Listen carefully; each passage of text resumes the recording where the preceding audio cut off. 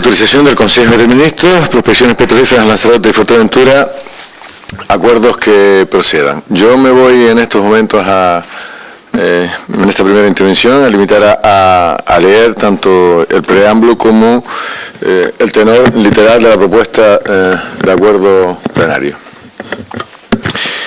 En 1993, bajo el sello de la UNESCO, Reserva de la Biosfera, la isla apostó por un modelo de desarrollo muy concreto como estrategia más inteligente para consolidar su futuro. Se trataba de compatibilizar los requerimientos sociales y humanos de la población, los derivados de la economía y la preservación de su extraordinario patrimonio natural y paisajístico. Este modelo de desarrollo y futuro de la isla se ve ahora seriamente amenazado por la decisión adoptada el pasado viernes, 16 de marzo, por el Consejo de Ministros de aprobar, sin contar con las instituciones canarias, el decreto de convalidación del expediente de autorización a Repsol y PF a realizar prospecciones petrolíferas en aguas de Canarias. La aprobación del decreto supone una falta de respeto a los compromisos adquiridos con las instituciones canarias al aprobar dicha convalidación sin antes responder a las alegaciones presentadas en el trámite de audiencia abierto, tal y como fue el compromiso del ministro por la defensa de la cultura y patrimonio natural de la isla, con una quincena de espacios protegidos y la mayor reserva marina de Europa, por la conservación de la extraordinaria biodiversidad que tenemos generadora de estabilidad indispensable para la conservación y autorregulación de los ecosistemas y para la propia supervivencia humana, porque las aguas de Lanzarote y Fuerteventura constituyen un lugar de interés mundial mundial perdón, por la riqueza y diversidad de cetáceos y porque su presencia en nuestras aguas indica alta calidad ambiental marina, porque el modelo de especialización económica de Lanzarote, basado en el turismo y del cual vive el 90% de su población, de manera directa o indirecta, se apoya en su imagen de calidad ambiental y en el prestigio conseguido a base de esfuerzo y renuncia a un crecimiento turístico fácil, ilimitado e insostenible en el tiempo. Y entre otros factores, porque la presencia de una industria petrolera en nuestras costas y sin plenas garantías en cuanto a seguridad, en las mismas y en aguas próximas a las islas, va a generar otro riesgo fundamental para el desarrollo de esta tierra al poner en peligro la captación de agua limpia de mar para su potabilización. Única forma de obtención de agua para el consumo humano y el desarrollo de la actividad agraria y turística, para la vida en definitiva. Por todo ello, el Pleno de la Corporación del Cabildo de Lanzarote propongo que adopte el siguiente acuerdo plenario. En primer lugar, iniciar de inmediato el proceso judicial ante los tribunales que revoque los acuerdos adoptados por el Estado en su Consejo de Ministros, proceso que se abordará en un doble sentido o doble vertiente. En primer lugar, presentar recursos ante el Tribunal Supremo o las instancias judiciales que resultasen competentes, entendemos que es el Supremo, contra el acuerdo del Consejo de Ministros por el que se autoriza a Repsol YPF a realizar prospecciones petrolíferas en aguas próximas a Lanzarote y Fuerteventura. En segundo lugar, solicitar la ejecución de la sentencia del año 2004 por entenderse que no es convalidable un acto declarado nulo, como es el caso. El decreto de convalidación aprobado por el Consejo de Ministros vulnera la tutela efectiva de la Corporación Insular que en su día recurrió y adquirió este derecho ante los tribunales. Esa es la vía judicial y en cualquier caso el acuerdo propone eh, aprobar también eh, el siguiente eh, manifiesto, rechazar por parte de la corporación una insultante falta de respeto del Ministerio de Industria, Energía y Turismo con los compromisos adquiridos con las instituciones canarias al aprobar las prospecciones sin responder a las alegaciones presentadas durante el trámite de audiencia abierto, rechazar también la urgencia en la aprobación del nuevo Real Decreto, por cuanto entendemos que se debió esperar a la próxima entrada en vigor de las nuevas directivas europeas que supondrán una mayor garantía y seguridad de las medidas de protección medioambientales para la extracción eh, de eh, hidrocarburos, como mínimo. Y tercero, trasladar el presente acuerdo a los representantes canarios en el Congreso de los Diputados y en el Senado para que defiendan el acuerdo de esta corporación respecto a la medida adoptada por el Gobierno de España. Eh, lo he leído para que todos sepamos realmente qué es lo que vamos eh, a votar, que es el, tenor eh, literal de lo que ustedes tienen por escrito y lo que acabo de leer, y no las valoraciones o consideraciones o argumentario que en, la justificación y en el sentido del voto podamos exponer y que todos sepamos a qué nos estamos ateniendo realmente, porque yo desde luego añadiría y añadiré algunas cosas más en el debate, pero no es lo que vamos a votar. Lo que vamos a votar es lo que ustedes tienen por escrito y lo que yo les acabo de leer. En primer lugar, tiene eh, la palabra el Grupo PIL. Desde el Grupo PIR, y a pesar de que en este momento no conocemos los términos concretos del Real Decreto de autorización sobre las prospecciones petrolíferas, lo digo porque hasta en el día de hoy no se ha publicado en el BOE como así debe ser, aunque sí hemos tenido conocimiento a través de los diferentes medios de, comunicación de la información que se facilitó el viernes por parte de la vicepresidenta del Gobierno Nacional, nos volvemos a reiterar en los argumentos que ya expusimos en el Pleno sobre el mismo tema celebrado el pasado 28 de febrero. Por ello manifestamos que como quiera que en la documentación que se aportó a esta institución y a este grupo no se desprende planificación ni medidas adicionales de protección especial al objeto de preservar los ecosistemas y la biodiversidad de las aguas de Canarias. Las medidas de protección medioambiental y el plan de restauración que se referencia en la documentación que se nos entregó y que fueron presentadas parece ser en 2004, aunque algunas datan desde el año 2001 y otras de 2003, parece ser que no han sido revisadas y actualizadas ante los avances técnicos y experiencias en accidentes recientes en este tipo de actividad, presentándose las mismas de forma genérica, sin tener en cuenta la especificidad del lugar, las características, la biodiversidad de la zona, y que es desde ese mar que rodea estas islas, Lanzarote y Fuerteventura sobre todo, además desde donde nos abastecemos del agua mediante la potabilización. En estas islas de Lanzarote, ya lo dijimos en su momento y lo retiramos, existen espacios naturales protegidos regulados por legislación canaria y estatal o también por legislación europea, como pueden ser lugares de interés comunitario y CEPA, y que abarcan parte del litoral e incluso sectores marinos, y no conocemos hasta el día de hoy que se hayan contemplado medidas de protección específicas hacia los mismos. Entendemos de nuevo desde este grupo que si lo que se ha acordado ha sido un real decreto para convalidar el anterior que fue anulado por los tribunales de justicia, no puede ni debe acudirse a la vía de convalidación de un acto ya anulado en su momento por los propios tribunales de justicia, en todo caso sería emitir uno nuevo. Es por ello que vamos a aprobar el borrador del acuerdo presentado, porque así previamente antes se había hablado con el consejero de, de reserva de la biosfera. Lo que sí es verdad que nosotros, y ahora en la lectura que hacía el señor presidente, en el apartado, después del apartado 2, donde dice manifestar el rechazo de la corporación a la insultante falta de respeto del Ministerio de Industria, nosotros entendemos que no es una insultante falta, porque bueno, estará en su competencia, sino lo que sí entendemos, la falta de respeto del Ministerio de Industria sin responder siquiera a las alegaciones presentadas por este cabildo durante el trámite de, de audiencia abierto porque lo que nosotros estamos entendiendo como insultante, nosotros por lo menos del Grupo PIL no lo vemos, porque ellos pensarán otra cosa. Ahora sí entendemos que por lo menos hay una falta de respeto por parte del Ministerio que no contestó previamente las alegaciones.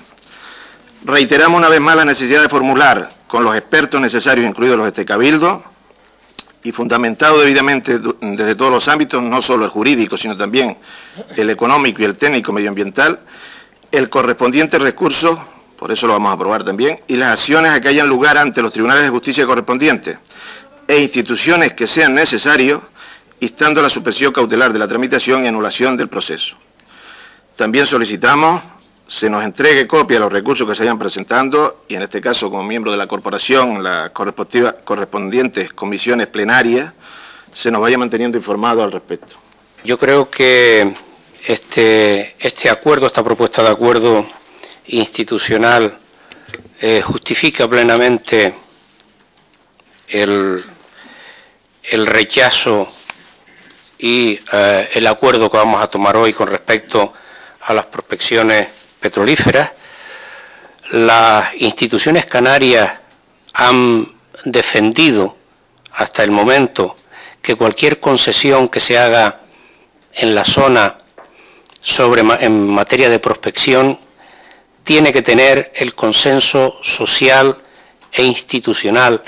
Además debería de garantizar plenamente la eh, protección efectiva en el aspecto medioambiental, de manera que se reduzca el riesgo prácticamente a cero.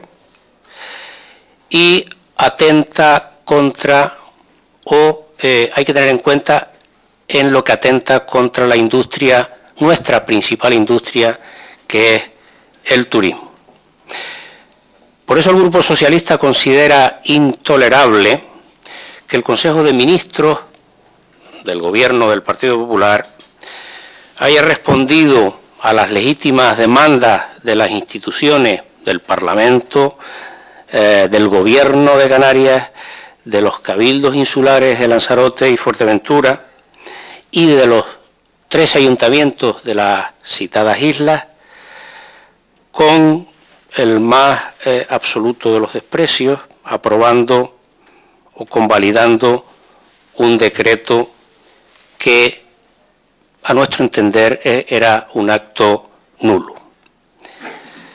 Se quiebra con ello lo establecido por el gobierno socialista de José Luis Rodríguez Zapatero, manteniendo el más absoluto respeto a las instituciones y a la sociedad canaria. Este, esta convalidación de este acto se ha hecho deprisa y corriendo. Creemos que evitando dos cosas o queriendo evitar dos cosas, el cumplimiento de la directiva europea de evaluación de impacto ambiental y la contestación social. No se ha respondido a las alegaciones presentadas por las instituciones y los ciudadanos.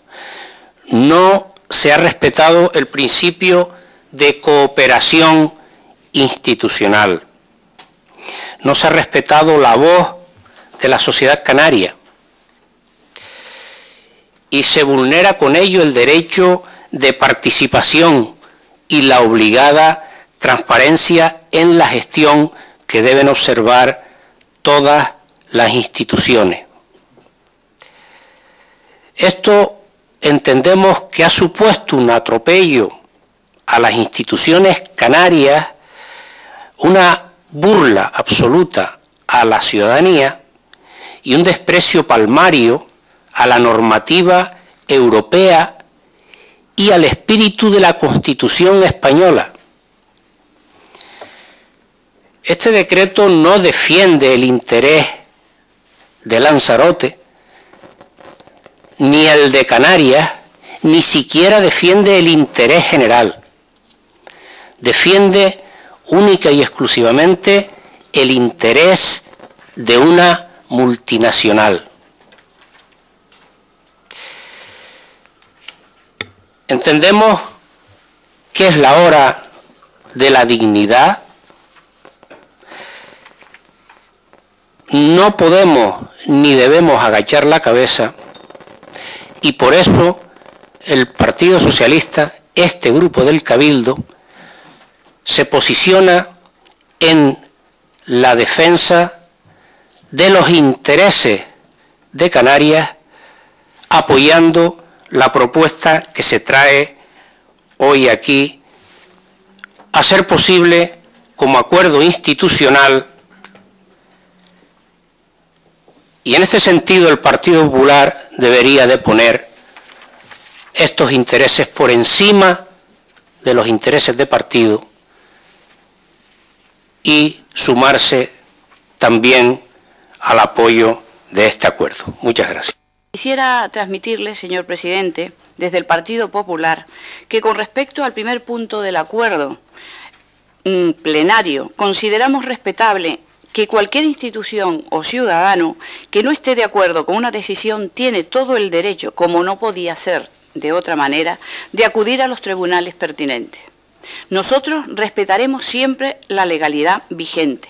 Es más, consideramos que podría servir para clarificar ante algunos sectores de la población cualquier duda que tuvieran al respecto, teniendo en cuenta fundamentalmente que las alegaciones presentadas por esta institución son de carácter jurídico. Al analizar el segundo punto, entendemos que será el Tribunal Supremo, una vez puesto el recurso o requerimiento, el que determinará si se considera o no la solicitud que alude la corporación. En esta línea nuestra posición es la misma que la que he expuesto anteriormente. Con respecto a los dos añadidos, señor presidente, que se han realizado a la propuesta de acuerdo que se nos facilitó el día de hoy, porque fue un añadido hace escasamente una hora, como ustedes todos bien saben. Mm, presidente, tengo que manifestarle lo siguiente para que entiendan el sentido del voto. No toda la totalidad de los ciudadanos de Lanzarote están en contra de las prospecciones petrolíferas. Es decir, aquí no están representadas la voluntad de todos los lanzaroteños, entre los que podrían nombrar partidos partidos que están hoy aquí con representación, asociaciones de consumidores e incluso otro tipo de asociaciones que no vamos a enumerar porque sería ridículo porque el número de personas representativas no van a significar a toda la población. Sí es cierto que hay muchísimos ciudadanos también que manifiestan su apoyo a la posibilidad de investigar y no de hacer prospecciones, sino de investigar cuáles son realmente los recursos naturales de los que dispone nuestra tierra. Y eso está en la mente de muchos ciudadanos que hoy no están aquí. Porque además quisiera recordarles que los ciudadanos le dieron la confianza mayoritaria al Partido Popular en las últimas elecciones nacionales, dando legitimidad, por tanto, y representatividad suficiente al Consejo de Ministros una confianza que también hay que trasladar a nivel de Canarias y Lanzarote, como usted bien sabe. Cierto es que reconociendo la representatividad y la mayoría que tienen en esta institución cabildicia, respetamos las decisiones que mayoritariamente se tomen en ella. Y por otro lado, pedimos el mismo respeto para esa parte de la población que no comparte su manera de enfocar esta situación porque el consenso, señor presidente, no es siempre estar de acuerdo en todo, y porque el tiempo hace cambiar las opiniones, como hemos visto en el presidente del gobierno canario, como hemos visto también en el secretario de los socialistas y hasta el mismo seno de la FECAI recientemente en Fuerteventura. Ante esto, los ciudadanos no entienden que cuando existe la posibilidad de conocer si contamos con un recurso natural que proporcione riqueza, se mire hacia otro lado, mientras nuestros vecinos en Marruecos lo hacen sin que ni siquiera Canarias se atreva a emitir una opinión al respecto.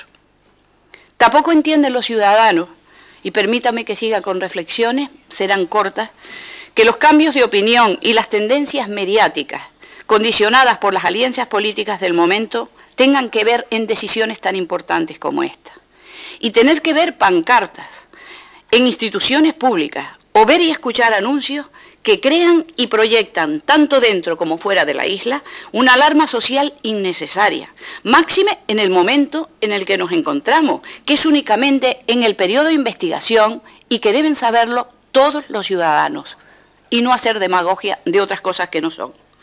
Así, hay expertos canarios, podríamos hablar de muchos, expertos canarios, no de fuera, expertos canarios de distintos ámbitos, universitarios, etcétera, que piensan que hay una diversidad en la economía.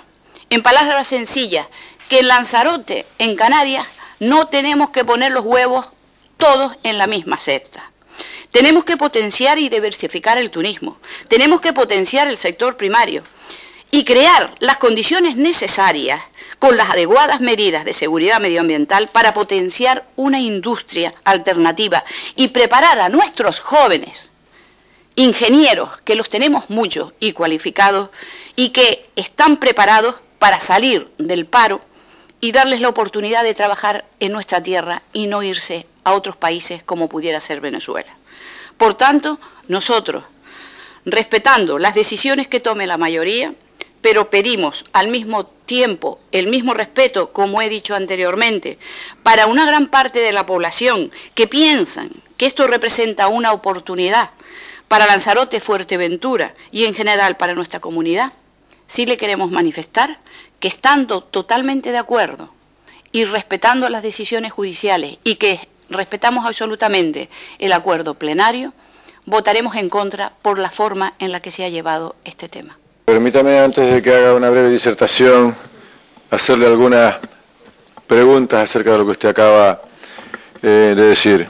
La primera de ellas es, cuando dice usted que respeta, ahora de último ha dicho que además está de acuerdo, ¿quiere decir usted que estaría de acuerdo con el tenor literal de lo que hoy se acuerda si solo nos hubiésemos quedado en presentar el recurso eh, ante el Tribunal Supremo y en solicitar la ejecución de la sentencia? Porque una cosa es respetarlo y otra cosa es, además de respetarlo, estar de acuerdo. Porque si está usted de acuerdo, yo no tengo ningún inconveniente en proponer al Pleno que votemos eso en primer lugar y en segundo lugar el resto del manifiesto. Yo lo que he manifestado es que estoy de acuerdo en que aquellas personas que no estén de acuerdo en cómo se han ejecutado la sentencia y cómo se ha llevado los términos jurídicos, nosotros los respetaremos. Por tanto, nos abstendríamos ante ese punto. Bien. O sea, porque están de acuerdo. Ese es su razonamiento. Eh, la segunda... ¿Están de acuerdo, perdone, señor presidente, si me permite matizarle? ¿eh? Estamos de acuerdo en que cualquier ciudadano y cualquier institución que no esté de acuerdo con una sentencia judicial tenga el derecho para ir a cualquier tribunal pertinente. Por tanto, es más, estaremos suficientemente contentos para que la aprobación quede clarificada la situación en donde estamos y por qué se ha hecho. Por tanto, estaremos de acuerdo en que eso se haga por parte del quien corresponde. Ya lo había entendido. Se abstendrían ustedes porque están de acuerdo, efectivamente. Eh, eh, perdone. Señora consejera, señora consejera, ya le he entendido, ya usted lo ha explicado dos veces. Eh, cuando dice usted que hay partidos en esta corporación que no están de acuerdo con este manifiesto en, este, en esta corporación, ¿a qué partidos en plural se refiere? Porque que yo sepa, solo es el Partido Popular el que no está de acuerdo. Quizás el que no me ha entendido es usted, señor presidente. Yo he dicho que en otras instituciones canarias hay partidos ¿eh? en otras instituciones canarias. Estamos hablando de Canarias, no solo de Lanzarote y Fuerteventura, que por supuesto es nuestra prioridad. Estamos hablando de Canarias. Esto va a repercutir en toda Canarias. Esto he hablado de que hay otros partidos, que usted lo sabe perfectamente, que se han manifestado a favor de la investigación en las profesiones petrolíferas. Si quiere se los enumero. Muchas gracias, señora consejera. No, no le he entendido mal. Le he entendido perfectamente y está grabado en la sesión plenaria. Usted ha afirmado y ahora lo ha corregido, que en esta corporación, en esta corporación, hay partidos que no están de acuerdo. Está grabado bueno, si, si usted ahora no me interrumpa, señora consejera, por favor, por favor, por favor, yo no la interrumpo con usted cuando está en el uso de la palabra. Le repito que usted ahora ha aclarado lo que antes eh, dijo de manera errónea. No hay partidos en esta corporación, salvo uno, el Partido Popular, que no esté de acuerdo con este manifiesto. Usted lo dijo, quizás se equivocó, pero lo dijo. Si lo he expresado así, me, vamos, mm, lo reconozco por supuesto que no he querido decir eso. Efectivamente. Y le hago una última pregunta. ¿Está usted de acuerdo en que se haya aprobado por parte, está el Partido Popular en Lanzarote de acuerdo en que el Consejo de Ministros haya aprobado la convalidación del decreto sin ni siquiera responder al trámite de audiencia y a las alegaciones cuya oportunidad brindó a esta corporación y que se comprometió a estudiar y responder antes de convalidarlo? ¿Están ustedes de acuerdo con, con, con, la forma? Vamos a ver, yo puedo entender, señor presidente, que usted esté molesto, porque a lo mejor no entienda las formas de actuar, pero no quiere decir que todos los demás lo estemos. Lo que yo le digo es que a mí me parece que las formas son importantes, evidentemente a usted se le contestarán las alegaciones probablemente, todavía el decreto no ha sido publicado, no lo conocen a ciencia cierta y por tanto hay ciertas partes del mm, manifiesto que se pone aquí de acuerdo plenario que todavía quizás es una suposición, está basado en una suposición y no en un conocimiento real del decreto y de lo que significa. Pero ¿está usted de acuerdo en que se haya aprobado, aunque se publique y se responda con posterioridad a las alegaciones después de convalidado? Esa es la pregunta que le estoy haciendo. Mire, yo creo que simplemente si se pudieran haber respondido a tiempo, hubiera mejorado indudablemente la comunicación. Mm, lo reconozco. Ahora sí le digo, señor presidente, ha habido muchos momentos en donde el consenso se ha podido llevar a cabo con la voluntad de ambas partes, no solo de una Y eso, por eso he reiterado en mi escrito, que ha habido reuniones previas y también usted sabe que el señor ministro se reunió en la última FECAI con todos los presidentes de Cabildo para tocar este tema al cual usted, por circunstancias, por supuesto, mm, que se pueden justificar, no asistió. La voluntad de responder a las alegaciones antes de aprobar solo podía recaer en una parte que no quiso hacerlo, que es el ministro y el ministerio. Como usted comprenderá, los cabildos, lo único que esperábamos, ansiábamos y creo que estábamos en nuestro derecho era a que se nos respondiera un trámite de audiencia y ya que se cumpliera con aquel compromiso que no se cumplió. Mis preguntas han terminado para decir que efectivamente, como usted comparte, las formas son muy importantes. Y si alguna razón la hay para defender unas eventuales proposiciones en Canarias, son las formas las que han hecho perder cualquier posibilidad de, razón o de tener eh, eh, la razón. El trato que se nos ha dispensado eh, con esas formas no solamente ha faltado al prometido consenso, sino que es el enésimo incumplimiento de los compromisos en esta materia. Mire, en ningún lugar lo he dicho en más de una ocasión, del planeta que yo conozca, quizás con la salvedad de Noruega, la industria petrolera ha supuesto lo que Repsol y ustedes y el ministro, que son los mejores embajadores en estos momentos de los intereses de Repsol, eh, en Canarias tratan de vendernos jugando con la mayor preocupación de los canarios, que es el desempleo. No hay ningún lugar del planeta Tierra donde la industria petrolera haya supuesto una mejora de las condiciones de vida de los pueblos donde se asienta. Ninguno, digo, salvo eh, en Noruega. Podríamos hablar de, muchísimos eh, ejemplos de Centroamérica, incluso de aquellos que nos tratan de vender como, como ejemplos o, modelos a, seguir. ¿Dónde? En Dubái, en Abu Dhabi, en, en Qatar, en Arabia Saudí, donde viven bien cuatro.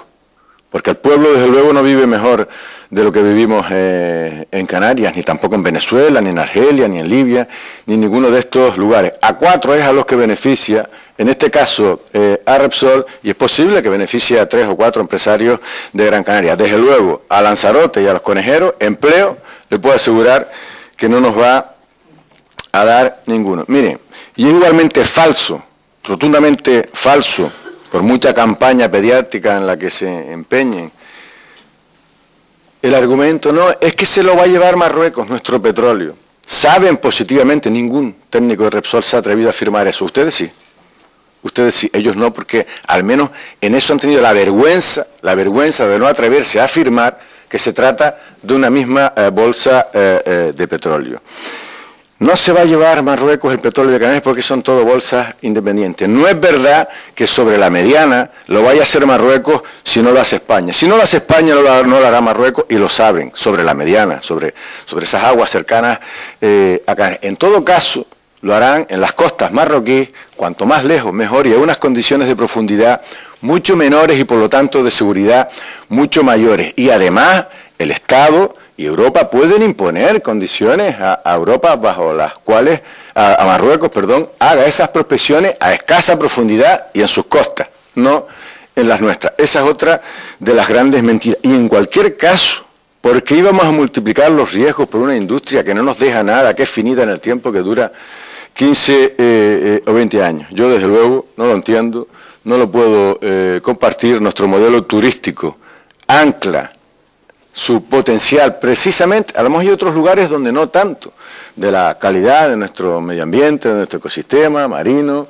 eh, terrestre, y además sabe usted muy bien que la dependencia de la desalación, de que el mar esté limpio, en una palabra, es absoluta en Lanzarote y Fuerteventura. Todas esas consideraciones yo creo que debieron, deben ser y van a ser tenidas en cuenta por un Estado que nos ha tratado efectivamente como a una colonia yo mantengo mi discurso de nacionalismo eh, moderado a pesar de esto, porque eso no lo va a cambiar una decisión, una bravuconada colonialista como, uh, como esta, porque no se la puede llamar de otra forma. Pero desde luego que sí que alimenta a aquellos que legítimamente estén pensando en otros derechos que tiene también, podría tener esta eh, comunidad y el nacionalismo canario, si así lo decidiera, eh, con la palabra, obviamente, no con las armas como hacen en otros eh, lugares, pero el trato, desde luego, que alimenta y calienta ese tipo de pensamiento. Mire, las pancartas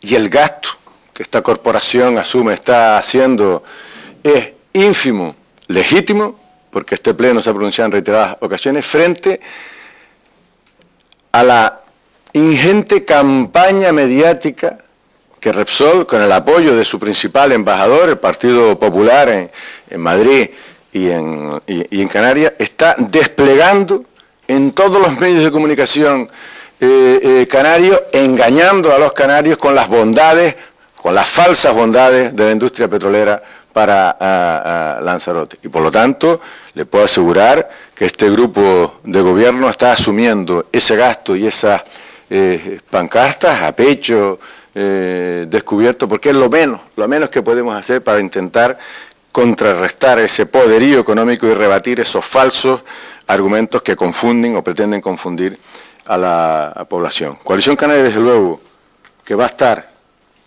de acuerdo con el manifiesto como lo han estado y con los acuerdos el Partido Independiente de Lanzarote, el Partido Socialista y nosotros mismos, todos los grupos políticos de esta corporación, salvo el Grupo Popular, y también con que se dé traslado a los representantes canarios y